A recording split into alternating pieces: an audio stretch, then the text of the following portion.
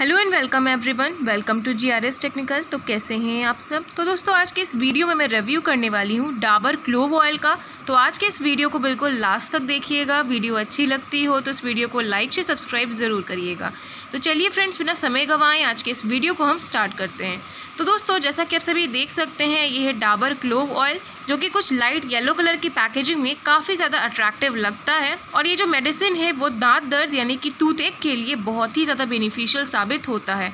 तो दोस्तों, जैसा कि आप सभी जानते होंगे कि कभी भी हमारा दांत दर्द देता है तो हमारे घर में ऐसा बोला जाता है कि हमें लौंग चूसना चाहिए या फिर लौंग के तेल जिस दांत में दर्द है, वहाँ पे उसको रखना चाहिए। तो ये जो मेडिसिन है, काफ़ी ज़्यादा कारगर साबित होता है। एंड ये डाबर ब्रांडेड कंपनी का है। तो ये आपके लिए हंड्रेड परसेंट सेफ़ है। बात करें अगर इस प्रोडक्ट के बारे में तो ये जो प्रोडक्ट है, ये आपको मात्र बत्तीस रुपये में मार्केट में अवेलेबल हो जाएगा थर्टी टू रुपीज़ में अवेलेबल हो जाएगा। अगर इसके नेट वॉल्यूम के बारे में हम बात करें तो दो मिलीलीटर इसका नेट वॉल्यूम होता है।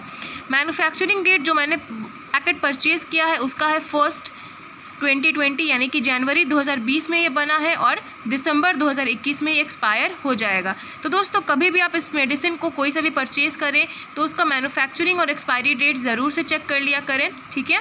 दोस्तों, अब आपसे मैं बात करूँ इस प्रोडक्ट के बारे में तो आपको इसको यूज़ कैसे करना है? तो दोस्तों, इसे यूज़ करना बेहद आसान है। आपको कॉटन एक ले लेना है और उसमें ज़रा सा क्लूव ऑयल रख लेना है, एक से तीन ड्रॉप। और जहाँ पे भी आपको दांत में दर्द है, टूथ कैविटी हो रखा है या जहाँ पे आपको दांत में दर्द दे रहा है, वहाँ पे आप इसको कॉटन को रख सकते हैं पाँच से दस मिनट के लिए। और आप देखेंगे कि आपका जो दर्द है, वो चुटकियों में गायब हो जाएगा।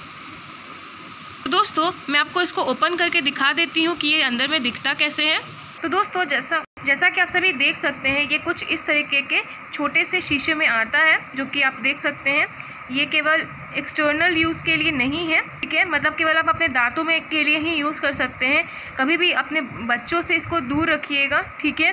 क्योंकि मे बी वो अपने आँखों में डाल लें या कभी भी कुछ इससे मस्ती करें। तो इसलिए बच्चों से आपको स्पेशली इसको दूर रखना चाहिए। तो दोस्तों, ये दांत के दर्द में काफ़ी ज़्यादा गुणकारी होता है, लाभकारी होता है और इसी के साथ आज के इस वीडियो में इतना ही। वीडियो अच्छा लगा हो तो इस वीडियो को लाइक से सब्सक्राइब ज़रूर करिएगा। जय हिंद, वंदे मातरम।